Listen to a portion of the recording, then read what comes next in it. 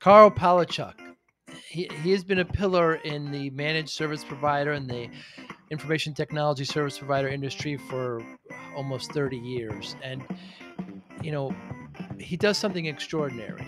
When he learns something, he pushes it out. He makes videos on it. He's got over 300 standard operating procedures (SOPs) uh, for managed service providers on his YouTube channel. He he's an author. He speaks publicly. He's got two podcasts. Uh, it's just just kind of the, the, just very knowledgeable, kind of the um, you know, like I say, a pillar, maybe the grandfather of. Uh, although he's only in his 60s, by the way, but uh, of, of the MSP industry. We talk about the term managed service provider and where it is, an IT service provider, but the, the you know, what MSPs can do and what vendors should be doing. What vendors should be doing, by the way, was very, very enlightening. But more importantly, how discipline uh, really affects him and how he feels it should affect, um, you know, service providers it was very enlightening and insightful as well. Great conversation with Karl. I appreciate him uh, for doing it, and I know you'll enjoy this conversation. Thanks for listening. Hi. I'm Joey Pinz. People ask me, how did I lose 130 pounds? The quick answer is always discipline. I started my business, wasn't paying attention to my health, was eating too much, you know, drinking too much sweets. My daughter was born. Next thing I know, I'm pre diabetic, I have hypertension. I knew something had to change discipline. I, like many of you, have faced many challenges in your career, in your family, in your life, in your faith? How did you attack them? How did you approach them? How did you solve them, hopefully? It all had to have some degree of discipline. I'm also asked, how did you found and start a tech business that lasted over 25 years? Discipline. I was committed to it, enjoyed technology, didn't enjoy some aspects of it, but knew it was necessary. Discipline our podcast mission how do we use discipline to better ourselves and society? Join me, please, as I talk to interesting people and discuss how they use discipline in their family and their passion and their careers and how it helped them. Our podcast vision growth through learning from others. Joey Pinz Discipline Conversations. It'll be light and serious. Join us, please. Thank you for consideration. Really, really appreciate Happy to do it. So, is MSP, is managed service provider, the best title for IT service providers? Is it? Is it? Uh, well, it is if you're a managed service provider. it's not if you're a, a, VAR or a reseller or a solution provider or somebody who does signage or, uh, you know, they, like there's a hundred other things you could be doing. Uh, so MSP is is one subcategory. And the the term, uh, it's just I just hear so many terms. It seems like more than ever now. I just hear MSSP and I hear TSP, te, you know, technology service provider, and I hear, you know, there's so many of these. Uh, you know, kind of uh, other other acronyms. Uh, what, what are your thoughts on it? Should we synchronize? Is it an issue? Well, so one of the problems that's happened in in the last I don't know 15 years is that MSP has become so successful mm. as a business model that vendors are seeking MSP. So everybody calls themselves an MSP, and the vendors have started using it as a generic term, which is all good, except that MSP actually means something, mm. and people are not using it to mean that they manage the client's technology. So I personally, I like the term ITSP, IT service provider, as a more generic term. so I recently uh, renamed my training site to be IT Service Provider University, right? And the, the National Society is the National Society of IT Service Providers. And that I think is a more general term so that you know if you can make a ton of money and be very successful as a break fix shop so but you should you should not call yourself a managed service provider if you don't manage the client's technology I did notice that you changed those. Uh, that's why I asked. You know, they asked the question. Uh, and if we talk, it's a leading question. Yeah, yeah. And if we talk about break fix, of course, that we're talking about some. If something breaks, the provider fixes it. They're not. They're not uh, being proactive. Just want to clarify. Right, and and sometimes people look down their noses and. Um, you know, they use the term break fix, uh, not quite in a derogatory way, but t- to sort of suggest that those folks are providing less of a mm. service. But another way to call that group is on demand IT, mm. right? I mean, we all started out providing IT services on demand. And then some people figured out how to do recurring revenue and to take ownership of the client's systems and provide managed services. So, and, and, you know, I, I guess I like words a lot. So for me, I, I, actually parse things out quite a bit. Mm. I, I think the words actually matter. I agree. And, and I know you do. That's why I'm, I'm asking. And there are plenty of businesses that are on demand, right? Or break fix. Uh, uh, your lawyer, your plumber, your electrician, your, you know, you need a new roof. You need, you know, these, these kinds of, you know, not everything has to be a recurring service. Right. Although, I mean, uh, you know, a good lawyer would love to have you mm. on, you know, a retainer, right? And uh, I love the uh, heating and air conditioning industry. There, we should follow. Everybody here should follow their advertising and copy hmm. it because it's very successful. You know, they say, look, you know, get this seventy-nine dollar tune-up in the spring, and if anything goes wrong, uh, we'll give you your seventy-nine dollars as credit towards the actual repair. So they get some recurring revenue, they get a little bit of whatever. The main thing they get is their sticker on your heater. Mm. so, you know, when something goes wrong, you're like, oh, I'm going to call those guys because, you know, they owe me $79. Uh, when in fact, it's going to be a $1,500 repair. But you know they're going to give you your $79 back. Uh, what a great point. Yeah they do uh, do a great job of putting their little sticker on the furnace and you're down there staring at the thing and it's cold and it needs to be hot and you're thinking well i got to call these people. Also car dealerships do that. I find myself you know, seeing cars with the sticker. I said, why are they leaving them on there? Why don't they, you know, around the license plate in the back? You know, they'll have the the car dealership, right. and that's just branding. Well, even better, they put your oil change information on your on windshield, windshield so that it's right there in front of you, right? And then and you keep counting down. Oh, I have 100 more miles. I have 50 more miles, right? And then you call them unless they pissed you off for right. some reason. So uh, fascinating. And is it a good time to be an ITSP, MSP, TSP? Oh, uh, best time ever. I mean, it's it's challenging. You know, you, you can't ignore ransomware. You can't ignore the fact that the entire you know financial empire of North Korea and Russia are coming after your clients. Mm. But um, you know, we have so much cool technology and so much opportunity, and we really honestly, I think our industry has done almost miraculously in the pandemic. You know, we got people out of their offices and into their mm. houses and scared up enough millions of cameras and and microphones so that everybody can work from home and and not hardly skip a beat and they did it securely and uh, i mean it's amazing. And I, and I hope everybody takes this as an opportunity to begin having an ongoing discussion with clients. You know, how do we get back to the office? Are we all coming back at once? You know, are you going to have a three day work week? Are you going to rotate stuff out? Do you need a different setup in the conference room? You know, da da da da da. Uh, those conversations should happen all the time, but this is a great opportunity to start them if you haven't been doing it so far. Yeah, what a wonderful point. I, I, I can't help but wonder if the pandemic happened uh, 20 years ago when this when the you know video and microphone technology wasn't as mature it is it is as now you know how would we have handled it? Uh, but of course now the technology was available and we had msps tsps uh, rolling it out and and helping our economy. Yeah. Well it's interesting you know 20 years ago you and i were on webinars and we were doing That's video true. calls. Um, so it, it existed, but as you said, I mean, it wasn't as slick as Zoom mm. or Teams. You know, it was a little clunkier and a little harder to get set up. And you know, now you just plug stuff in and it works. So it's uh, it's a great time to be in the business.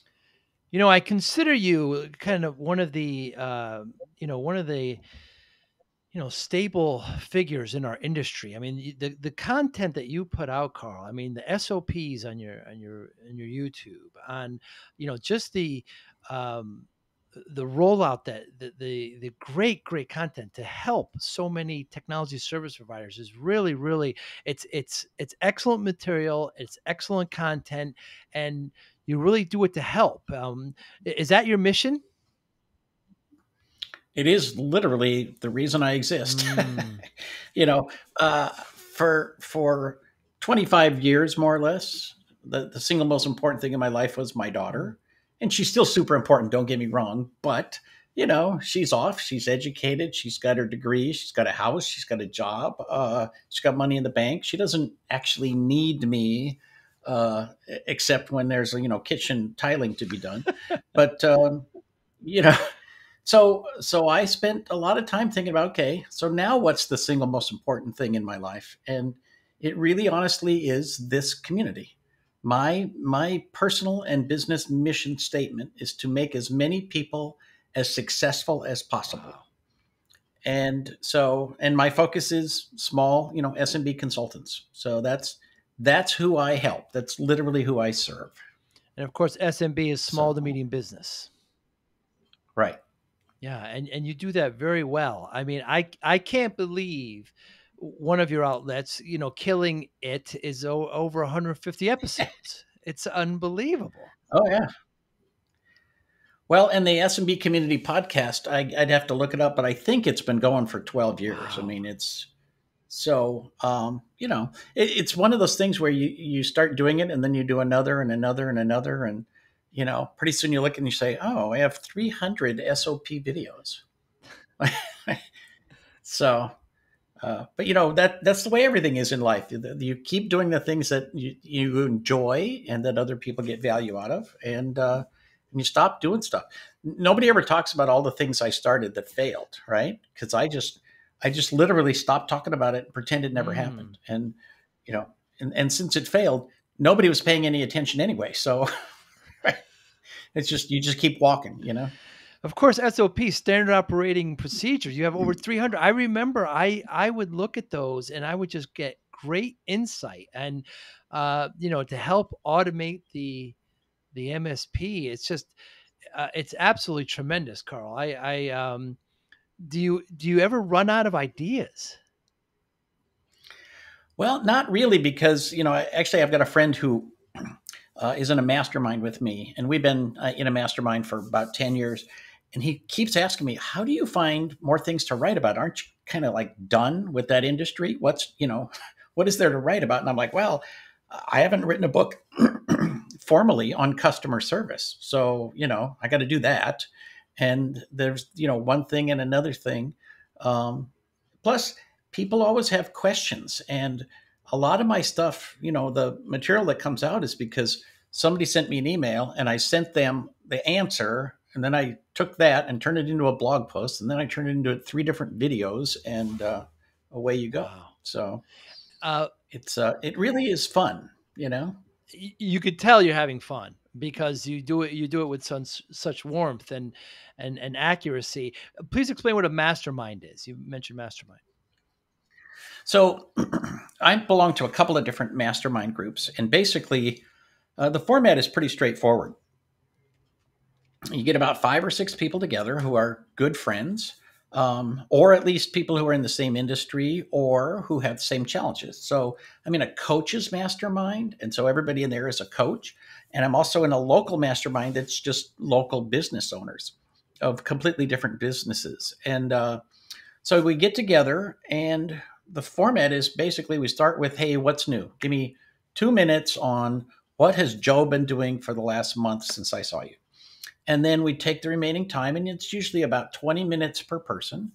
and each person brings a challenge you know like i'm i'm starting to figure out that i need to divide my services in a certain way or i need to find a name for my new offering mm. um, or is this a good price point? Do you think that these you know price point dividers are appropriate? Whatever the challenge is all the other people then throw in their opinions and um, information. Sometimes they'll say oh you gotta you gotta try this tool. And of course everybody else is writing it down and trying to figure out, oh yeah, I need that, I need that, I need that. So um, one person brings the challenge, but everybody else brings the information, and everybody learns from the answers to everybody else's hmm. questions. Um, and sometimes you have people like, you know, usually I'm the one who's telling people, uh, yeah, you need to add a zero to that. You need to increase your price dramatically. But every once in a while, I'll be talking about pricing, and people will turn around and say, "Yeah, you know, you need to ri- raise the price on that." Mm. so, you know, we sort of support each other in that way. And every once in a while, somebody will come up with a really great resource, and we just email it to each other and you know share it and help each other to be successful.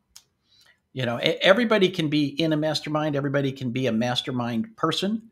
It's just a matter of focusing your attention for you know an hour hour and a half on these other people who are putting their attention on you at the same time. And the difference between that and a peer group? Well um, usually peer groups uh, come together there's not a lot of difference a peer group could actually be a mastermind but usually peer groups um, one of them is a leader or maybe there's a rotating leader and uh, they usually come together with a specific focus. So it might be that, oh, we're going to talk about, you know, marketing this month, or we're going to talk about, you know, whatever it is. Um, and so it's just structured a little bit differently.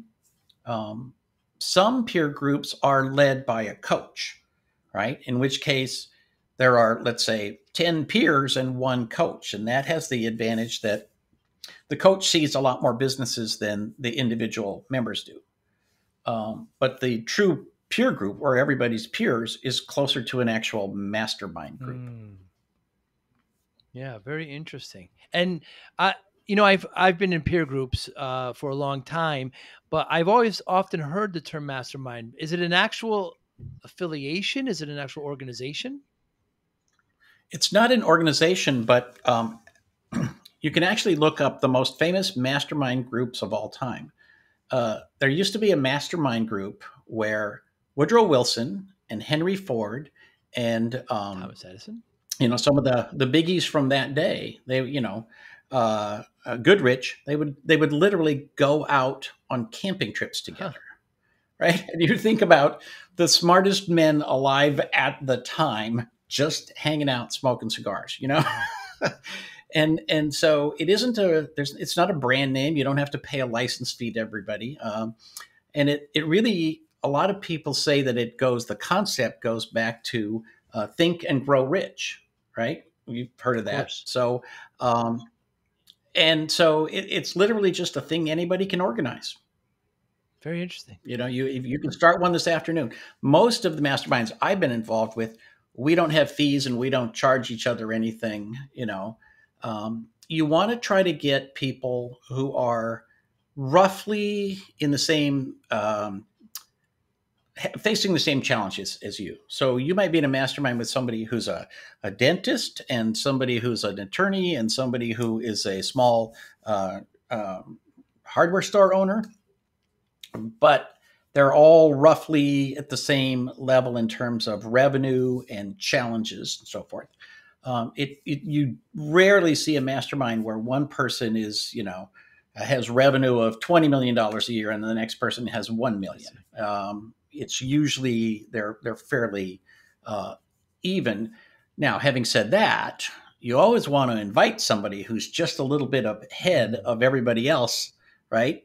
But that person needs to get value out of it as well. So they're looking for somebody in a mastermind that's doing better than they are, and on and on and on. So you sort of notch your way up over time. Uh, but you know, if you you know you with peer groups, there's somebody who's at three hundred thirty thousand dollars a year and somebody who's at three point three million, and um, they can be in the same peer group and still both of them can find value in that. That's always the challenge because they they most likely have different struggles. You know. Um, depending on where they are. I know when we we you know we acquired a bunch of companies back in the 90s and we jumped from, you know, a couple million to, you know, to 6 7 million and then, you know, all of a sudden there's a whole level of middle management and there's, you know, it was just a very a lot of different challenges that uh, that were there for us. What what do you think are the, the, the biggest challenges for MSPs today? Well, I you know, to me, I think the biggest challenge is for people to slow down and spend time really learning what they want to do and where they want to go. Hmm. Too many people jump in and just, you know, they're so, we're so action oriented in the 21st century. But a lot of people, they, they need to stop and, and take the advice that they've heard a thousand times. Figure out who your clients are. Hmm. Figure out what you want to sell and how are you going to sell this to those clients.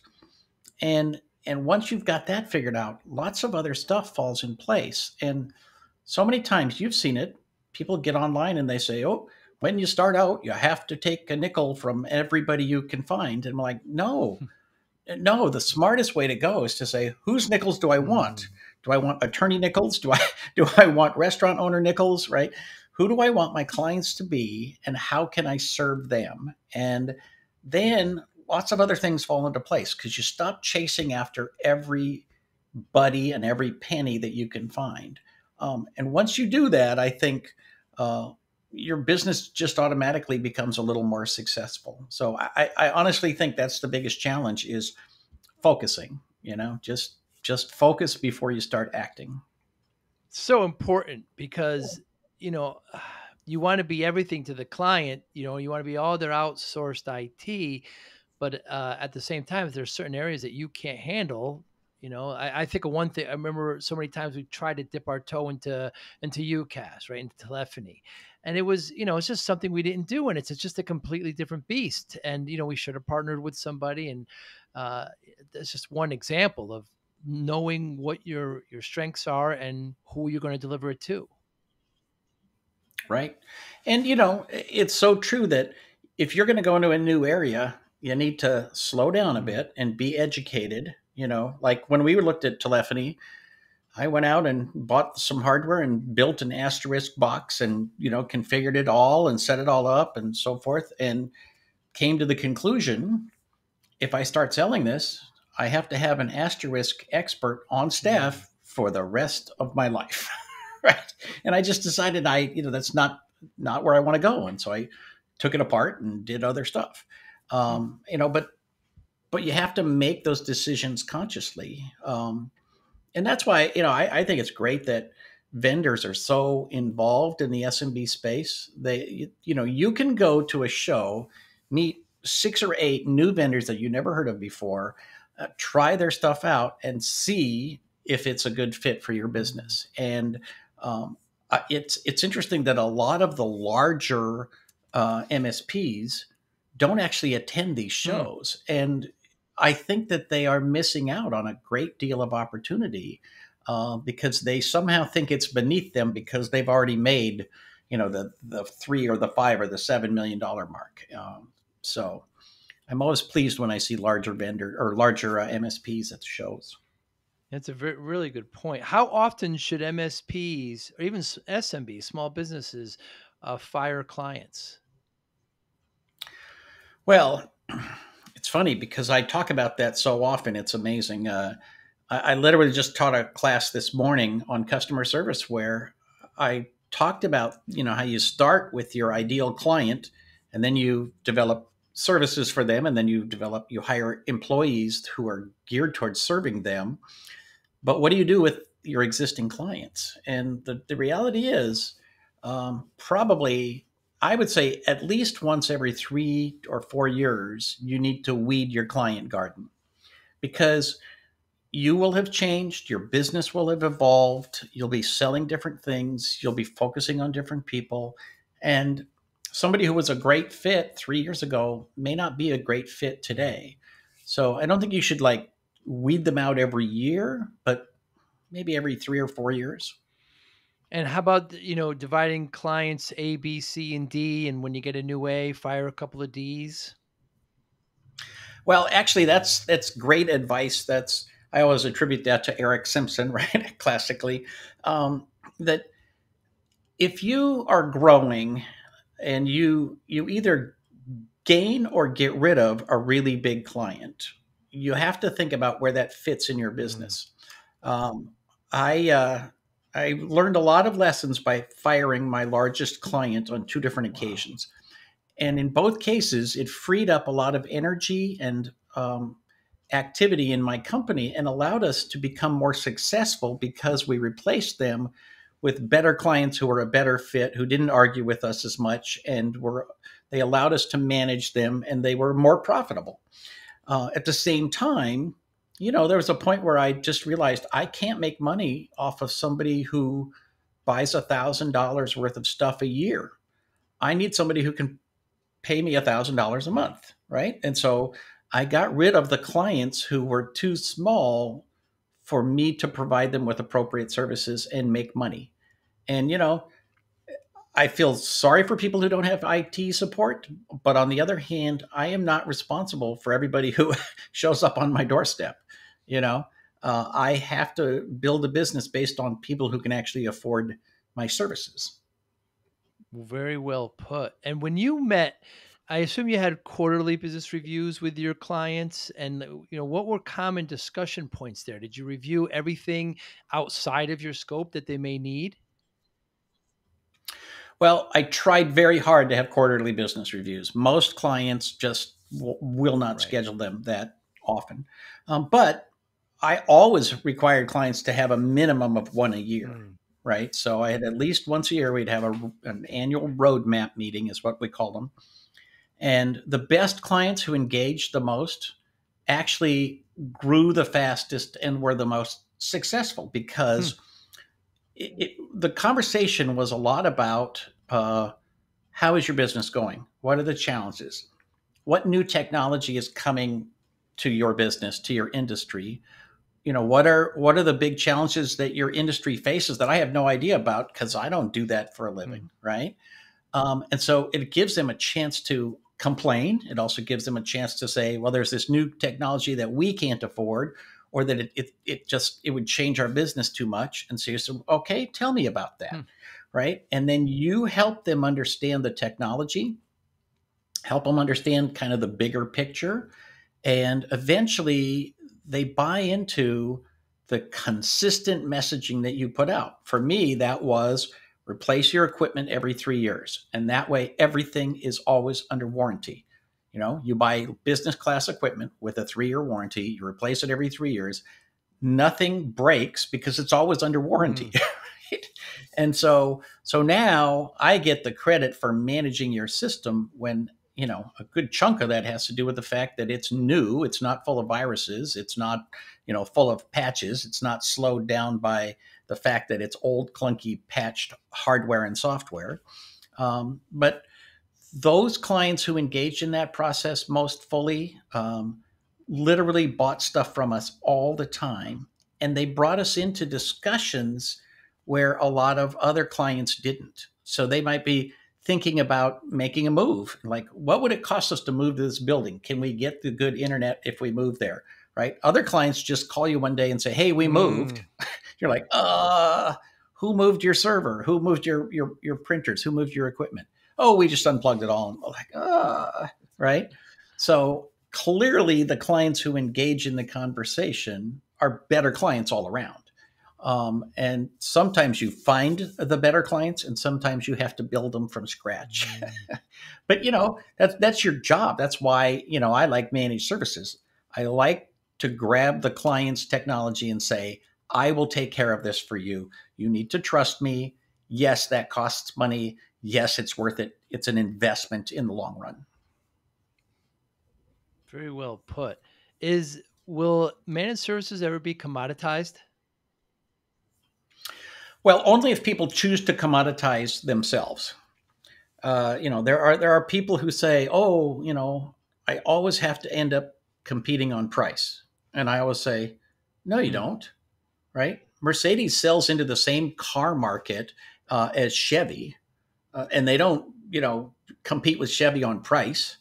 Right? They, like they don't even think about competing on price. Tesla doesn't compete on price. Oh, guess what? We're cheaper than a smart car. Eh, no.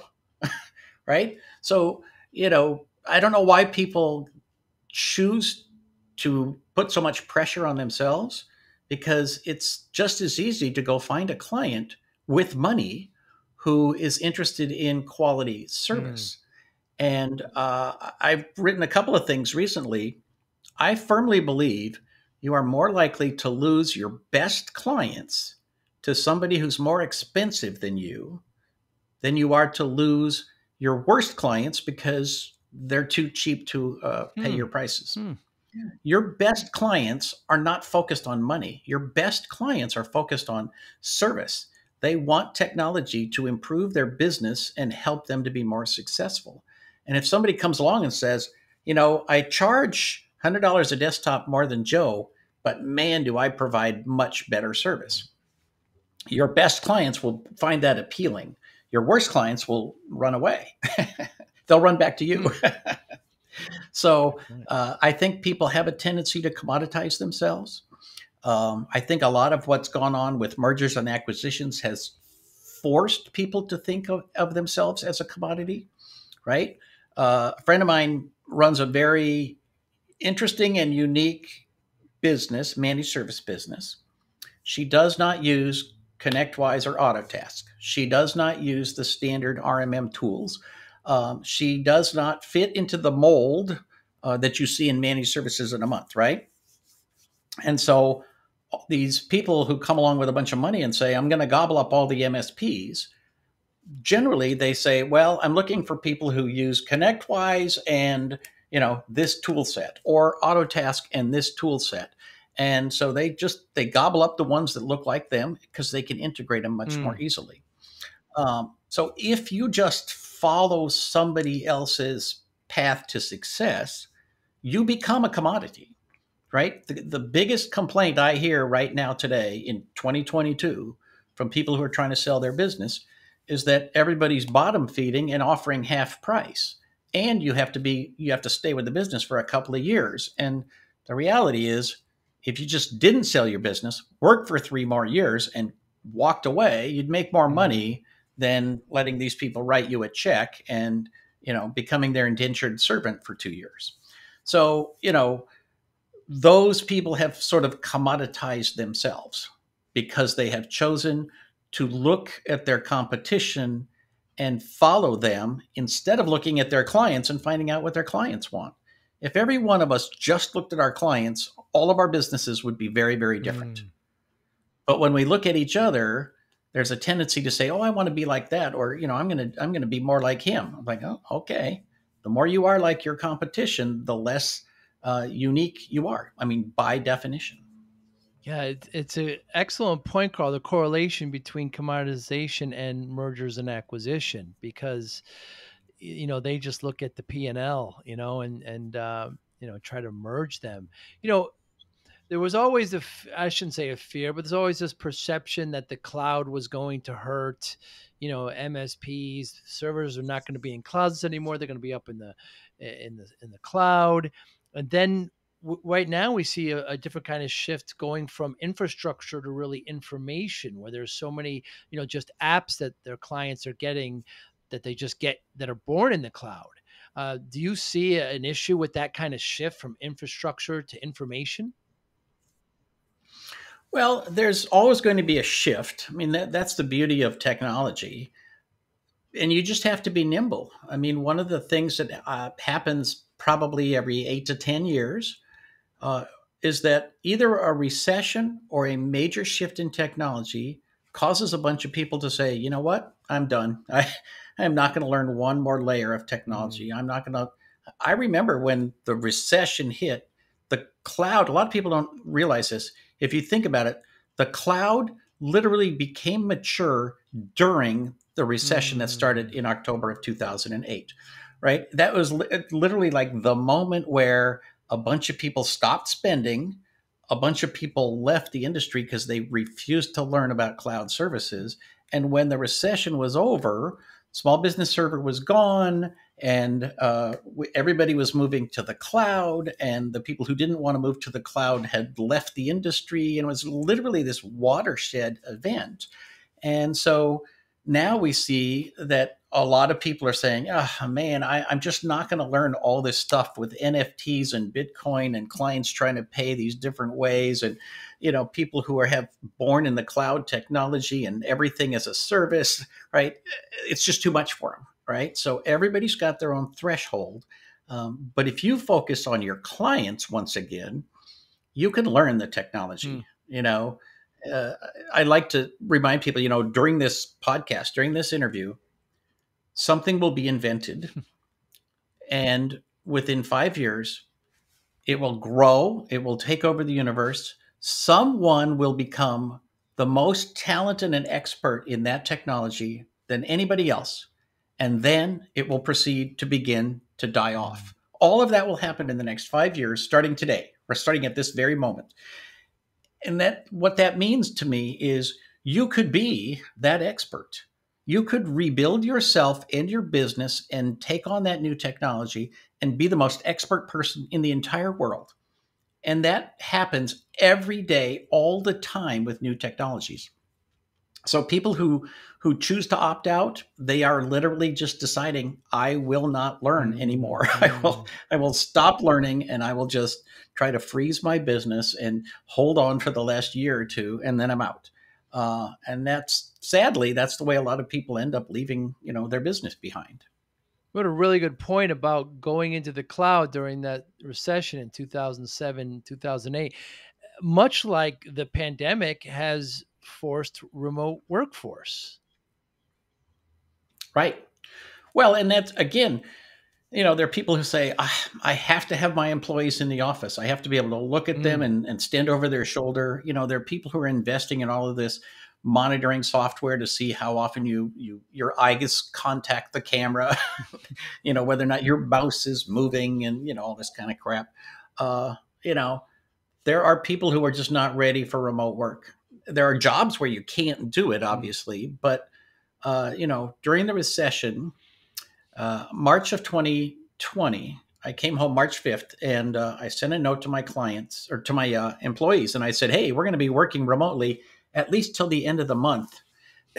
so two years later, so one of my employees who used to sit, you know, 10 feet to the left of me moved to Michigan. Another one who sat on the other side uh, moved to the Bay Area. And so I just recently hired a new person who's part time in the office uh, but my other employees are like they just left. Right. They're, they're in another state or another part of the, the my state.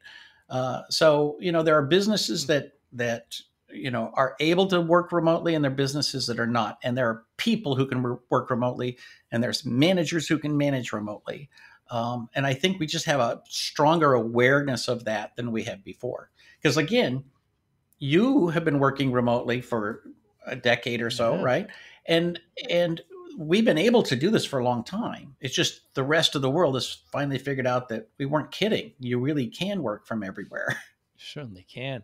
And before you were mentioning vend, you know, uh, shows, conventions, and vendors that are there.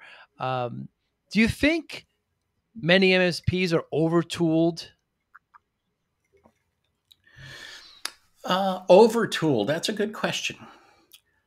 I think there's probably a great deal of overlap between some of the the capabilities of the tools that people invest mm. in. You know, you you get a, a, tool that does everything, and then you buy a bunch of other tools that do a little of this, a little of that, and there's a lot of overlap. I think most most people could probably cut back significantly and um, do manually a few of the things that they've done automatically especially the smaller uh, MSPs.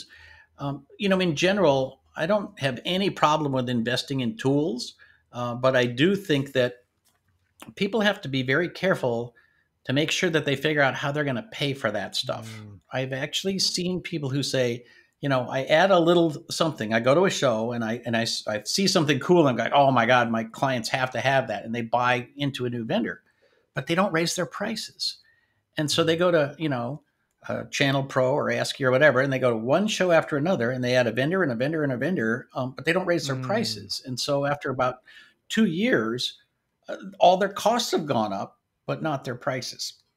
And ultimately, every piece of your business has to pay for itself. And I, and I mean that exactly and precisely. Your PSA has to pay for itself, or you need to get rid of it.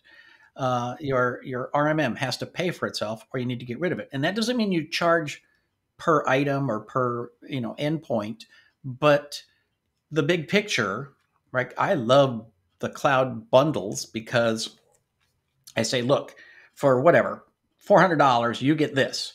Uh, and then it's up to me to manage what the components are and how they work together and how efficient they are. Uh, but a lot of people just go buy something and then implement it, but they don't really they don't figure out the money side of mm. things. And so what they're providing and what they're charging get kind of out of whack with one another. Does that make sense? Yeah, yeah, absolutely. And you could see that now where people buy you know subscriptions just i'm talking about consumers to to you know video subscriptions they watch a movie and then they forget they have it and they're paying every month for it you know and uh, there's just so much of that and there's actually apps out there that track that i i, I wonder if we're just stumbling an idea an idea here karl where we have uh you know tracking all your expenses your your tools in an app and seeing where the waste is right yeah well, so I, I, keep an Excel spreadsheet of um, all the recurring payments that show up on my credit cards, right? And every once in a while, one will show up, and I'll be like, "What the hell is right. that?" Right? And then I'll go look, and I'm like, "Oh, yeah, I was off on you know whatever, sitting on a beach, and I'm like, oh man, I totally need that, and I subscribe to something, and then I look back, like whatever, six months later, I'm like, I'm paying twelve dollars a month for that, and I forgot that I even bought it, like." But consumers do that all the time. And to be honest, it's one of the benefits of managed services, right? That you got a flat fee and that's it. It's also why, like, I love the Cloud Five Pack. Is you sell somebody a bundle of five licenses, and so whether they have three employees or four employees or five employees, it's still basically the same, and it and it helps them uh, accept that that's an ongoing price. So you just have to remember that there will be a day where somebody be on a beach and say, wait a minute, I have two employees, I'm paying for five licenses. you know, you, you got to be ready to to answer that question because hmm. uh, you know we enjoy being on the receiving side of recurring revenue, but uh, remember somebody else is on the the spending side. What can vendors do better to work with MSPs and understand MSPs? Well, I think my personal experience, the best vendors to work with are the ones who really educate MSPs, educate their partners. Um, ultimately, this industry lives and dies on how well educated service providers mm. are. And, you know, and that's, you know, part of that is knowing your technology, understanding you're you're going to fix this. Okay, you need to know it. You don't you can't look it up on Google the day that you're sitting at a client's office. Um, but vendors can help by saying, look, here's how you run your business with our technology. You know, when I go to any show, uh, no matter what it is, channel partners, anything, I go in and I ask vendors, why should I engage with mm. you? And I don't want them to tell me because I have the best menu options and let me show you this feature and here's these graphics. I'm like, no, I don't give a, you know what I mean? I want to know how I'm going to make money if I engage with mm. you. And and that has to be, you know, the discussion. Otherwise, I'll go to the next booth. And so educating me on how I make money, whether it is a cybersecurity product or hardware or software or management or monitoring, right? There's so many things in our industry. How do I make money with what you do? And to be honest, there are vendors, not not many in our space, but a handful that they can't explain what they do. Mm. They just keep coming back to how amazing and whiz bang everything is, and um, I, I won't engage with them, you know. And so, so I think the best vendors are the ones that actually educate people, not just on their product, but on how they actually make money with the product. And you know, probably the best in this industry, you go back 20 years, was Arnie Bellini telling people, here's how you make money with this thing. That you're going to enter tickets and you're going to keep track of everything and you're going to run these reports, right? And literally, people, when I first heard about ConnectWise, people were coming out of the woodwork saying, oh my God, this guy's going to show you how to make money in this business. And people were would say, I've been in business 20 years. He's got nothing to teach me. It's like, okay, hmm. fine. You you you stay there. We're going to move over here. And you know, ConnectWise and Autotask really did a huge, uh, you know, they, they brought great benefits to this industry by teaching people how to make money with their products. And I think more vendors need to do that. It's an excellent point. Excellent point. Just what is the bottom line? Uh, you know, with our partnership. So, Karl, the, the common thread of the podcast is, you know, discipline. I lost a lot of weight. People always ask me how, you know, like there's some silver bullet. I just say discipline, you know, have, have business for a very long time. Do you consider yourself disciplined? And how do you, how does it factor in your life? Well, I try to be. Um, you know, my most recent book is The Absolutely Unbreakable Rules of Service Delivery. Um, you know, we have things like I literally have rules. There's a there's a poster right there on my mm-hmm. wall. Uh, everybody who works for me gets a little poster with my my absolutely unbreakable rules, and they're things like we get prepaid for everything. So you want to do business with me? That's cool. Uh, payment first, business later, right? Uh, we hmm. uh, slow down and get more done, right? That that's a rule that's got a lot of layers to it, but it helps us to be more successful. So, and, and of course, the SOPs, you know, some people think that I must be the worst boss in the history of the world. Like I've got an SOP for how we name files, right? And on the other hand, little things like that just make everything work more smoothly. And so we don't waste time, effort, and money looking around like, ah, what's what was the name of that file? Well, it should be exactly and precisely this, this, and this. right? So you don't you don't have to worry about what the name of the file is. It's obvious what the name of the file should be, and so just go look for the only file that should have that name, right? Um, and little things like that. A great example of uh, of discipline is I have a rule that when anybody in my company, and and I've seen this with anybody who's ever worked for me, we create a directory called, you know, Bang exclamation Bang Tech on the uh, C drive of every machine that we build, and that's where uh, and it's a it, Bang Tech because then it gets sorted at the top of the directory listing, right? So you sit down at any machine that anybody who's ever worked for me built, and in the Bang Tech directory, you will find all the hardware drivers, all the license keys, the software, the logs, everything you need to know to manage that machine. Wow. And when you think about, you know, you sit down in a machine, you don't have to like go poking around for a folder that says software or uh, licenses or whatever. You you look for the only thing in the only place it should ever be on every machine, and it should be there. Think of how many thousands of hours of labor that has saved my companies over the last 20 years, right? because there's no thinking about where is it and mm. what is it and where do I put it and how do I but no it's right there so at some level that's a simple SOP but at another level it's kind of like a layer of discipline that brings consistency across time and space right mm. like literally there are people who used to work for me who now own their own companies and they are doing that with every one of their machines and and literally it's it's saving thousands of dollars by saving you know thousands of pennies uh, and and lots of time. So uh, that's why I have so many SOPs. It's like there is a there's a there's a way to do everything, and your way might be different than my way, but you better have it documented. Yeah, and then there's no room for mistake or interpretation. It's all documented in, in, in an SOP. And you know what's what's admirable about to me, Karl, about you most is that you know you run successful business, but you you get all this knowledge that you have and you just give it out. You just share it. You you take the time to record it. You take the time to uh, speak. You take the, you know, all these SOPs are up on the YouTube on your YouTube site. It's it's amazing that you know you you took that extra step. You've taken the mastermind, the peer group, all this knowledge, all this expertise, and you you let it out there. You're an author. Uh, it's it's extraordinary, Karl. Oh, thank you. That's very nice of you.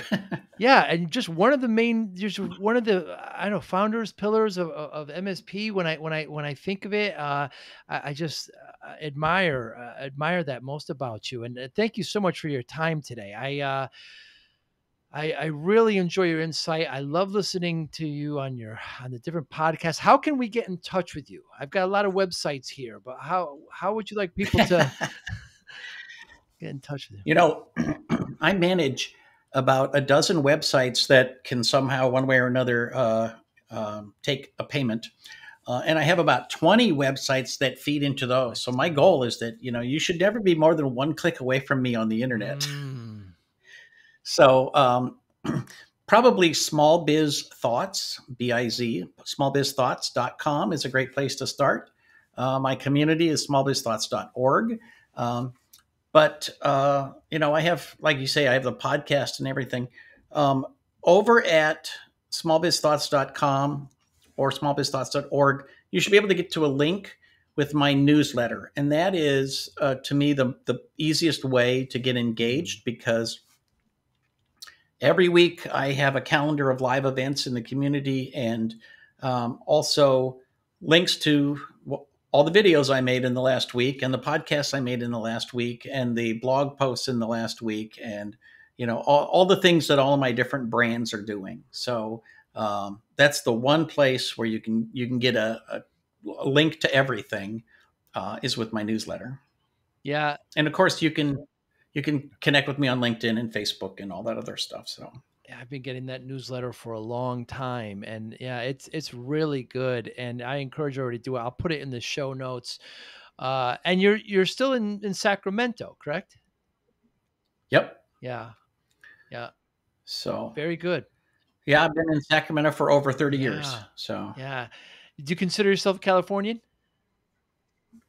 Oh, I do now. Absolutely. Yeah. So I was I was born in North Dakota and my parents were smart enough to get out of there and we moved to Washington state and but I was raised in the snow and then I went to the University of Michigan and there was more snow and so uh, I, I, moved to Sacramento and I'm like, okay, I never have to be where it's cold again except by choice. You know, I'm, I'm going to CompTIA, gonna gonna go to CCF in Chicago in March and it's like, ah, I will be cold but you know it, it's for a reason it's for a good cause and then i can go home and it'll be warm again so. Yeah.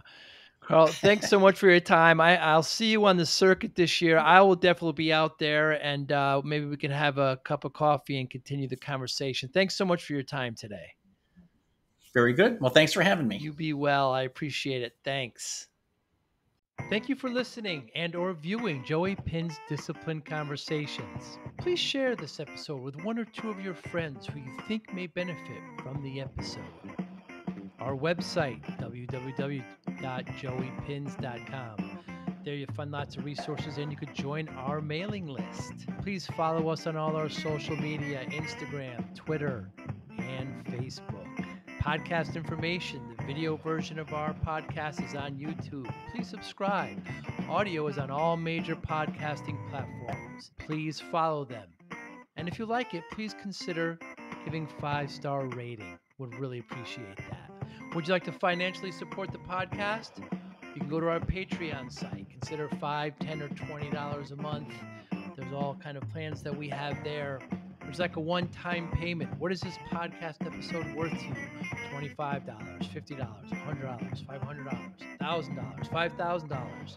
You be the judge. You can go to our PayPal account to do that as well. Thank you again for listening or watching Joey Pinz Discipline Conversations.